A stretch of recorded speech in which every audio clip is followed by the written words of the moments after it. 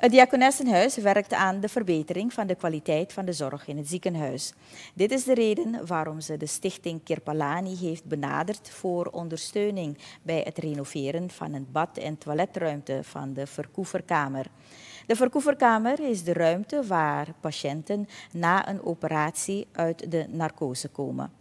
Stichting Kerpalani heeft positief gereageerd en vandaag heeft de oplevering plaatsgehad van de projecten renovatie bad- en toiletruimte, verkoeverkamer en het laten bedrukken van borstvoedingsdoekjes. De secretaris van de Stichting Kerpalani, Kenneth Cross, zegt dat de stichting zich richt op het uitvoeren van sociale projecten. Die richt zich op uh, sociale projecten, uh, richt zich op uh, projecten in de medische zorg, in de gehandicaptenzorg, de seniorenburgers, kinderen en ook educatie. En toen wij dit project binnenkregen, hebben we het bestudeerd. Eerst waren het, was het, er waren een aantal projecten aan ons voorgelegd en we mochten een keuze maken. We hebben dan een bezoek gebracht aan het ziekenhuis en we hebben daarbij uh, een rondleiding gehad met uitleg. En dit project leek voor ons echt een. Uh, dus echt de, de, behoefte was groot hier aan een goed toilet en badruimte. Dat is ook heel goed aan ons gepresenteerd door die afdeling. en we hebben dat daar goedgekeurd.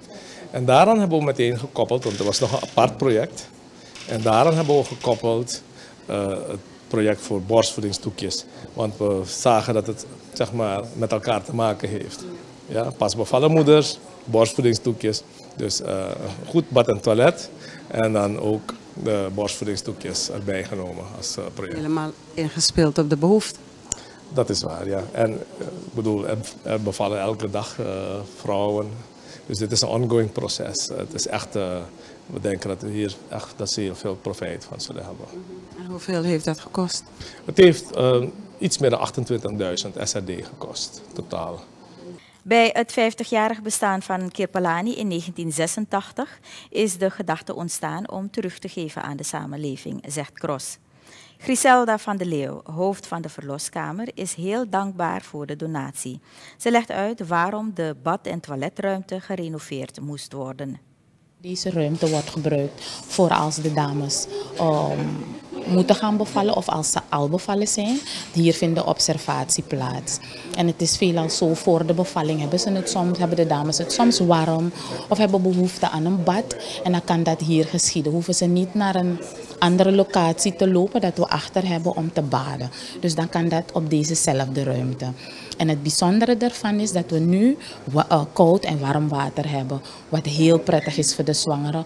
Omdat dat ook vaker gevraagd werd aan ons. Zuster, is er geen warm water uit die, uit, komt er geen warm water uit de kraan? En dat hebben we nu. En ik denk dat de dames daar heel goed gebruik van zullen maken. Dus we hebben echt, Stichting Kirpelani heeft echt in de behoefte kunnen voorzien. En wat is een verkoeverkamer? Het is een observatieruimte. Waar deze verloskamer ook voor staan. We, we zijn bezig het ziekenhuis babyvriendelijk te maken.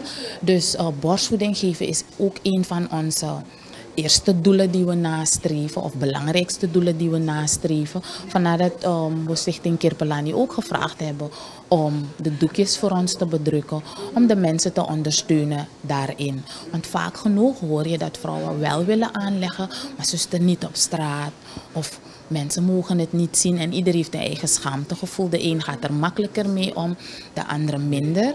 Dus hebben we deze borstvoedingsdoekjes gevraagd. We hebben de doekjes van een, een gullegever gehad. En Stichting Kerpelani heeft voor het bedrukken gezorgd, waarbij we het logo van het ziekenhuis hebben. En ons borstvoedingsslogan dat luidt, een standaard voor leven is borstvoeding geven. En als de dames dit kunnen gebruiken om hun borst af te dekken, dan is het helemaal oké met het geven van borstvoeding aan publiek. En dat was Griselda van der Leeuw, hoofd van de verloskamer van het Diakonessenhuis. Vandaag na de oplevering van de gerenoveerde bad- en toiletruimte in de verkoeverkamer.